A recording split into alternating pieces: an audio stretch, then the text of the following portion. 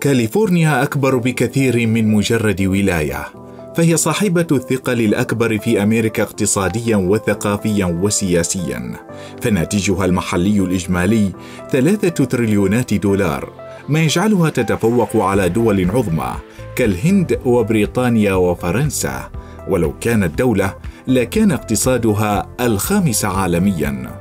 تتعدد أسباب قوة ونفوذ كاليفورنيا منها احتضانها وادي سيليكون الذي يعتبر مركز التكنولوجيا في العالم ويضم الشركات الكبرى مثل أبل وجوجل وفيسبوك. وبالإضافة لذلك توجد صناعة الترفيه وبالأخص هوليوود الذي جعل من كاليفورنيا ليس فقط قوة اقتصادية بل وثقافية أيضا.